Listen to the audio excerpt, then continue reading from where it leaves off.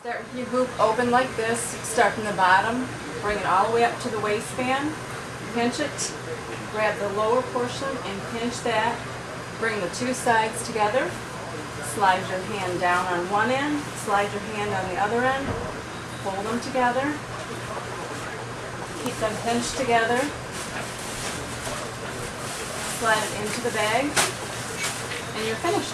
It's easy.